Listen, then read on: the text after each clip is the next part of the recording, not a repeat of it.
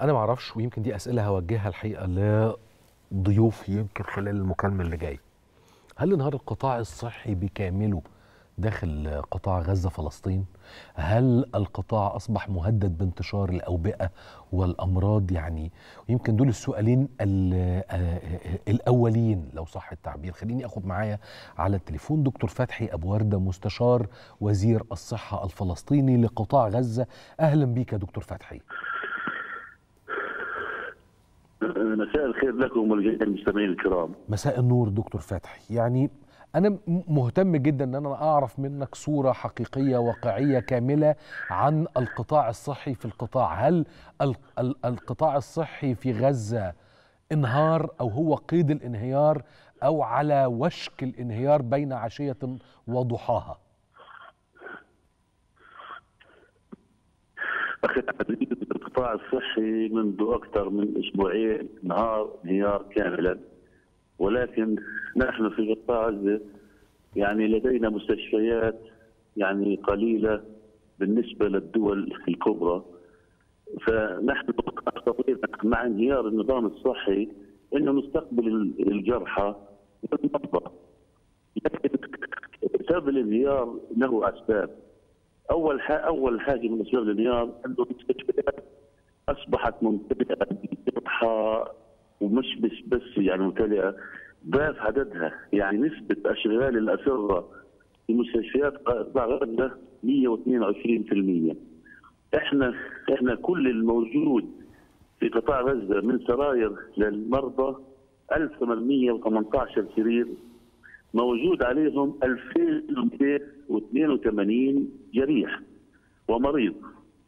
يعني نسبة جدا يعني المرضى نايمين في الحضرات نايمين في ال في في في, في, ال في الاستقبال والطوارئ نايمين في ال- في الحدائق في في في, في ساحات المستشفى ساحات المستشفى يعني إحنا عندنا مستشفى على سبيل المثال أكبر مستشفى في قطاع غزة وهو في فلسطين هو مستشفى الشفاء الشفاء الطبي أو مجمع. الشفاء الطبي المستشفى الشفاء الطبي فيه خ- 800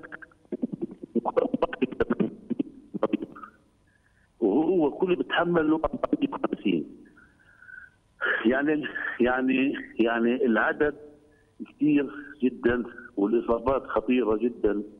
وللأسف يعني الإصابات اللي بتصيرنا أخي يعني غير مسبوقة وما شفناهاش من قبل. يعني عمرنا ما شفنا الإصابات هذه من قبل. يعني يعني يعني إحنا صرنا نستخدم الأطباء صاروا يستخدموا نظام المفاضلة يعني. نظام المفاضلة يعني بيجي لك اثنين أو ثلاثة جرحى بيكونوا بيكونوا الثلاثة بدهم عمليات. إحنا بنشوف مين الأخطر فالأخطر مم. يعني يعني صدقني أخي العزيز صدقني أخي العزيز وأنا بحكي الحقيقة ولا شيء غير الحقيقة إنه في خمس مرضى اليوم ماتوا استشهدوا وهم يتكلموا عن دينهم يعني يعني كان عشان يطيبوا. استشهدوا بيستنوا الدور على العمليات. يعني الوضع أكثر من كارثي ولا نستطيع أن نقول انهار. انهار بشكل كبير جدا. انهار انهار بسبب عدم دخول المساعدات الطبية اللازمة. يعني بدخل بدخل مساعدات عن طريق عن طريق معبر رفح البردي طبعا. لكن لكن لحتى الآن ما دخلش من يوم العدوان اسرائيل على غزة ما دخلش إلا 729 شاحنة.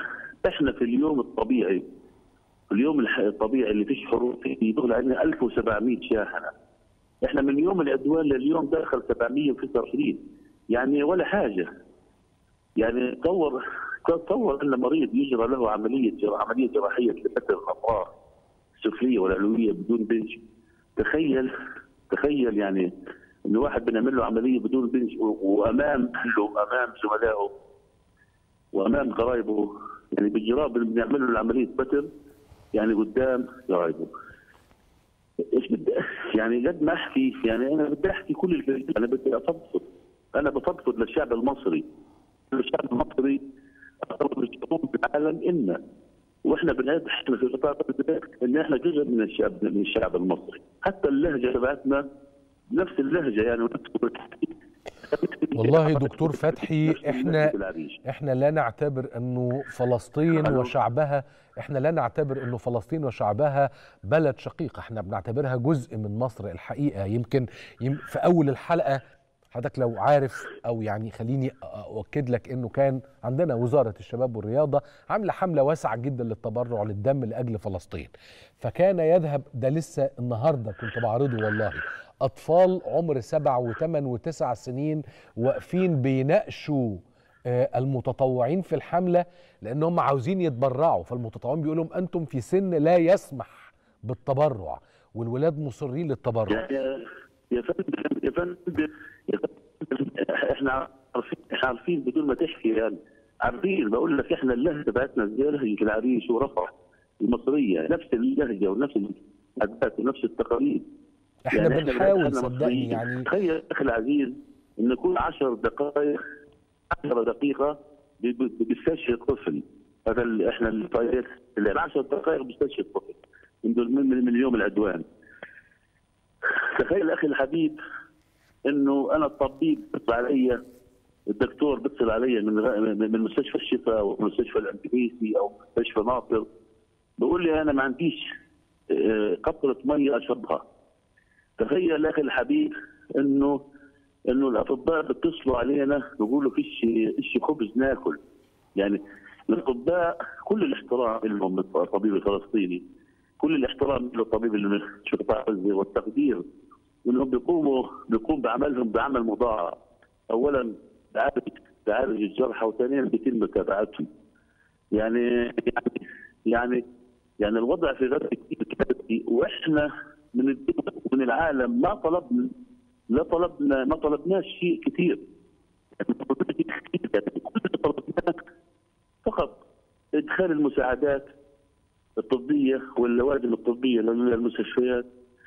طلبنا وترجينا يدخل وفود طبية. الوفود الطبية هي مهمة جدا دخولها بشكل سريع. لأنه الكادر الطبي في غزة انهك من ناحية جسدية ومن ناحية نفسية.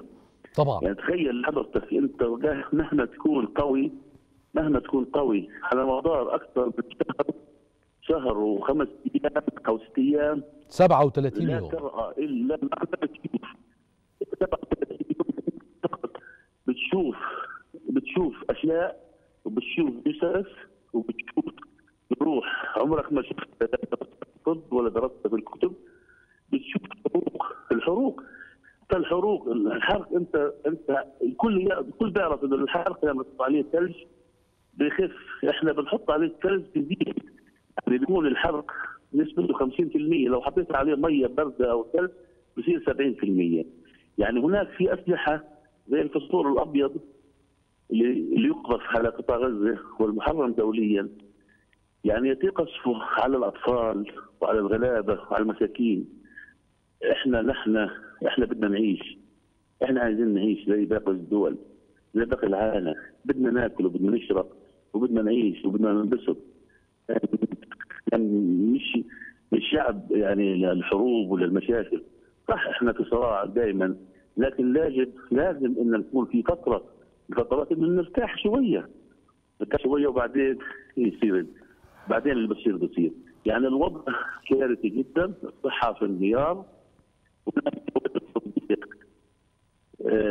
استشهد آه، أكثر من 220 كادر طبي استشهد 22 مستشفى آه، كتبنا من بينها ثمان مستشفيات حكومية.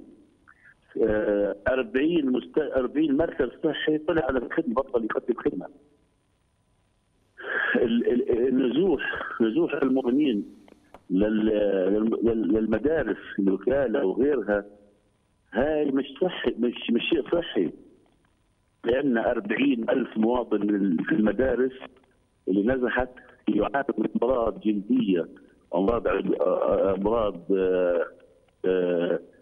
أمراض تنفسي وأمراض الجهاز الهضمي وأمراض أمراض كثيرة انتشرت. يعني أمراض جلديه منتشره جدا في في في المدارس بسبب بسبب عدم وجود المياه.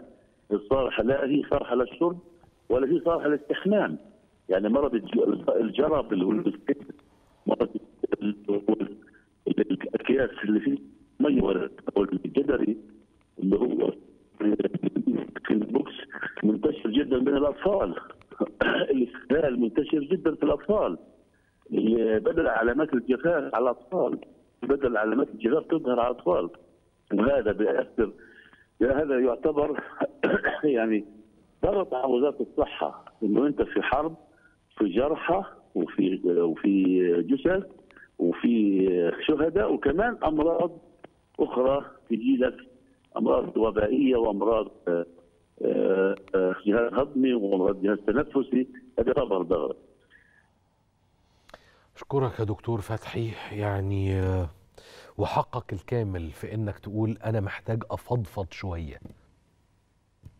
دكتور فتحي مش بس مستشار وزير الصحة الفلسطيني لقطاع غزة دكتور فتحي مواطن فلسطيني دكتور فتحي طبيب. كل ما يرجوه في اللحظة اللي إحنا فيها دي إنه يفضفض. عاوز أتكلم عاوز أخرج جزء من اللي جوايا.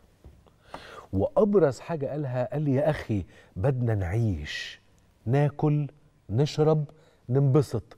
طب نرتاح شوية وبعدين يحصل اللي يحصل. بدنا نعيش. بدنا نعيش. يا دكتور فتحي بدكم تعيشوا؟ تعيشوا إزاي ووزير الأمن القومي الإسرائيلي بيدعو لقتل كل من يدعم حماس؟ لا ويدعم إيه؟ قال لك ولو بتوزيع الحلوى ابتهاجا بعمليات المقاومة. يعني لو أنت بتوزع بونبوني وأرواح. هنقتلك. أنت بتتكلم على وزير في الحكومة. وزير في الحكومة يعني راجل بيدي مشروعية لفعل القتل وإباحة وإتاحة ومنفذ لكل قاتل منفذ قانوني. أنت لن تحاكم. أنا الوزير وبقول لك كده. اقتل. حتى ولو قام بتوزيع الحلوى. مش مثلا اللي بدعم سلاح حسن بيديهم سلاح. لا لا لا. لو سقفت هنقتلك. لو زغرت هنقتلك. لو ابتسمت هنقتلك. لو قلت عاشت فلسطين هنقتلك. لو وزعت الحلوى هنقتلك. الله. واللي قبله يقول لك هنضرب نووي. الله الله الله الله الله.